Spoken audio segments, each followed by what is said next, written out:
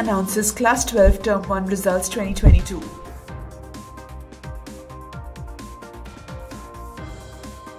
Directorate of Education revises admission schedule of entry-level seats for EWS and CWSN categories.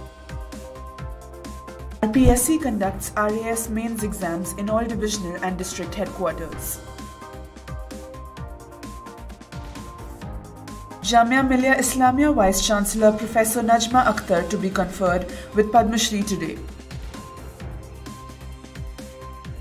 Exam special buses to operate for UP Board 2022 examinees in all districts.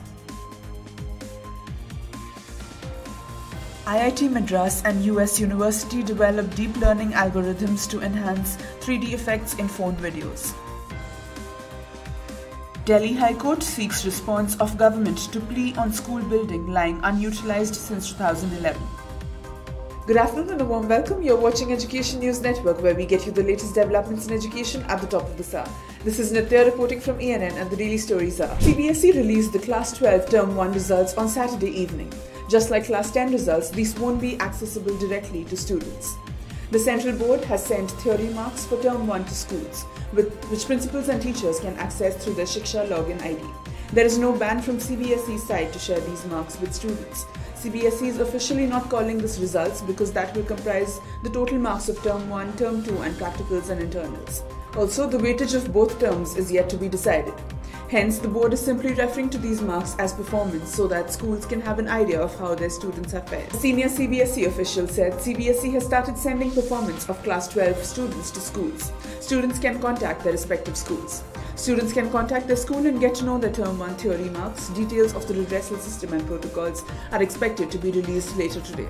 The Directorate of Education has revised the admission schedule of the entry-level seats for the economically weaker section or disadvantaged category and children with special needs categories. Now, the online registration process will begin from March 29. The last date for filling the admission form will be April 12th and the first draw of lots will be held on April 19th. As per Section 12.1c of the Right to Education Act 2009, 25% of seats in private schools are reserved for these categories. Out of the 25%, 22% is for EWS or DG and 3% for CWSN.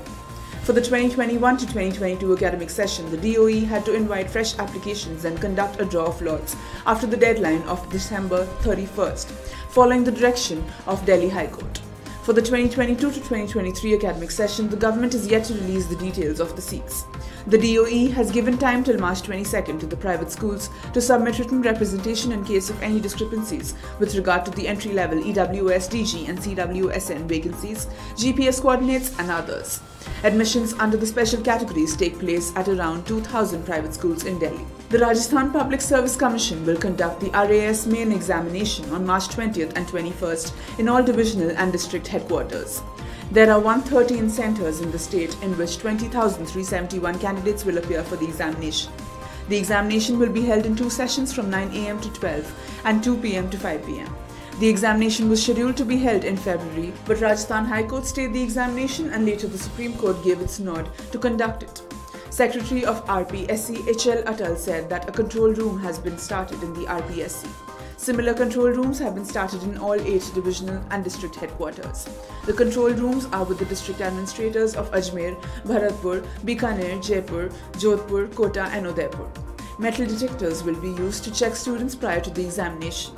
There will be video recording in every examination center and for the first time two videographers are deputed in every examination center by the RPSC. There will be two invigilators in every examination hall to control the examination activity and appointment of invigilators has been done by random method. There will also be flying squads on every 5 to 6 examination centers in which officials from police, education department and administrative department will be kept. There will also be observers separately to keep vigil on examination process in every center. Every center will have security of state police and distribution of question papers as well as collecting answer sheets from centers will be under strict police security and observation. The RPSC said that without any photo identity card, no candidates will be allowed to enter the examination center.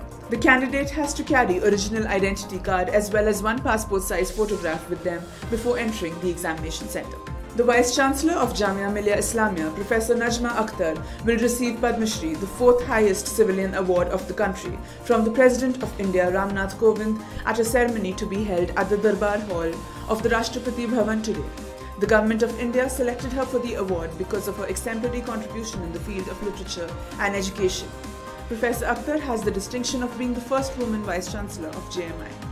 Also, the varsity received A++ accreditation from the National Accreditation and Assessment Council under her supervision in December 2021. She is widely recognized as a leading educationist for having brought transformation in the delivery of quality education in premier educational institutions of the country. Professor Akhtar also led JMI to bag the sixth rank in the National Institutional Ranking Framework of the Ministry of Education, GOI. Under her leadership, the university achieved outstanding performance by securing a 95.23% score amongst all central universities in a performance evaluation done by the Ministry of Education for the year 2019 to 2020. In order to ensure smooth transportation of UP board students during their exams that are slated to commence from March 24th, the state government has ordered the Uttar Pradesh State Road Transport Corporation, that is UP SRTC, to operate examination special buses before and after the exams across the state for the convenience of class 10 10 and Class 12 students, say State Education Department officials, adding that instructions in this regard were given during a video conference organized to review UP board examination preparations by State Chief Secretary Durga Shankar Mishra recently. The state government has also ordered that the officials concerned for public transport also ensure smooth arrangements for commuting of the students to the examination centers during the board exams. To make sure that the students wishing to avail the services do not face any problems, the state government has directed officials to sensitize Transport Corporation personnel and those working in the public transport system about the government's decision.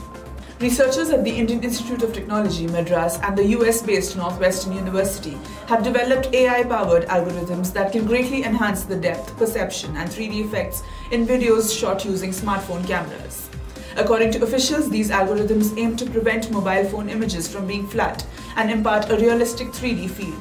A crucial advantage of the algorithm developed is that it eliminates the need for fancy equipment or an array of lenses to capture videos with depth. Kaushik Mitra, assistant professor at Department of Electrical Engineering, IIT Madras, said it is a common complaint, especially amongst amateur and professional photographers, that photographs and videos shot using smartphone cameras have a flat two-dimensional look. Apart from the flat look, some 3D features such as the bokeh effect, the aesthetic blurring of the background that are easy with the DSLR camera, are challenging in smartphone cameras. While a few mid and high-end smartphone cameras are now programmed to incorporate such effects in still photographs, especially in portrait mode, it is not yet possible to render them in videos captured using smartphones. Delhi High Court has sought the Delhi government's response on a plea by an NGO seeking to make functional a government school, which was constructed and developed back in 2011-2012 and is lying unutilized. A bench of acting Chief Justice Vipin Sanghi and Justice Naveen Chawla issued a notice and sought the response of the Delhi government and Directorate of Education on the petition, which also sought to take action against the official, who are answerable for their lackadaisical attitude and dereliction of duties. The High Court listed the matter for further hearing on March 29th. The petition by NGO Lakshya submitted that a full-fledged school, Rajkiya Uch Madhyamik Balika Vidyalaya, was constructed and developed in 2011-2012 and lying unutilized in a poor condition. The NGO, through its president, claimed that antisocial elements are stealing articles, including iron gates, windows, water taps, and wash basins from the building and consuming alcohol and other contraband substances there. Advocate Sanjay Bhardwaj, appearing for the NGO, said the petitioner sought information from DOE under RTI regarding the school building, and the authorities responded that the building has not been handed over to them. However, the department was mute with regard to information about the reason for non-operation of the building. It said the school building was constructed with funds of the exchequer, and if the petition is allowed, it will benefit students and society, the plea said. The school building was inaugurated by a Member of Parliament and other higher officials of DOE in 2014, it said. That's all for today. Thank you for watching Education News Network. For more such videos, do log on to our website, theENN.com, and don't forget to like, share, comment, and subscribe. Signing off, this is Nitya.